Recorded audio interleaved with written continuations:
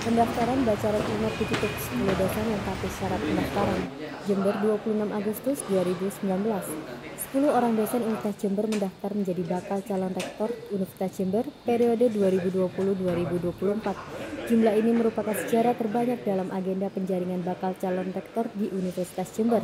Mereka adalah Profesor Dr. Andes David MSc PhD dari SKIP, Dr. Nurul Gufron SHMH dari Fakultas Hukum, Dr. Joko Purnomo MSI dari FISIP, Dr. Insinyur Iwan Taruna MN dari FTP, Dr. Andes Zulfikar PhD, Wakil Rektor 1 atau dosen MIPA, Dr. Idewa Ayu Susilowati Dr. Gigi MKes dari FKG, Dr.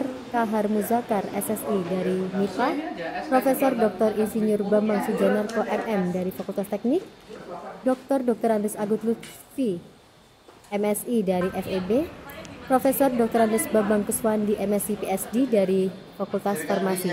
Proses penjaringan Bacarek Universitas Jember ini secara resmi berakhir pada tanggal 26 Agustus 2019 pukul 5. Terkait dengan pengembalian formulir, panitia pada tahun pada periode ini menetapkan formulir itu bisa bebas diunduh di laman panitia di pilrek.unet.ac.id.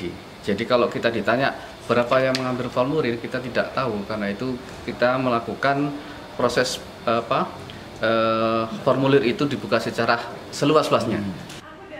Sejak dibuka pendaftaran pada tanggal 23 Agustus 2019 lalu, Bacarak yang telah melengkapi dan mengembalikan form pendaftaran seluruhnya berasal dari Universitas Jember.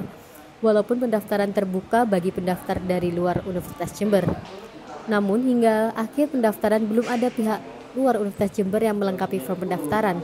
Sempat ada dua dosen dari kampus lain bertanya mengenai syarat dan ketentuan pendaftaran. Mereka dosen dari Universitas Hasanuddin dan dari Universitas Jambi. Namun hingga penutupan tidak ada konfirmasi lagi. Panitia walaupun dalam waktu sangat terbatas sudah melakukan sosialisasi lewat media cetak maupun elektronik bahkan lewat media-media sosial juga sudah dipublikasikan dan ternyata sudah ada respon dari uh, dosen luar yang setidaknya punya keinginan untuk mau mendaftar tapi sebatas tanya-tanya. Di antaranya dari teman dari Jambi jadi Untes Jambi.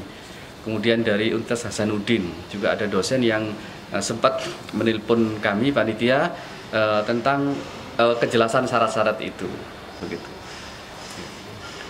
Tapi sejauh ini sampai saat ini belum ada ya apa pertanyaan lagi kapan dia akan datang karena Eh, kalau di ketentuan kami panitia bahwa hari ini pukul 17 panitia sudah akan menutup pendaftaran.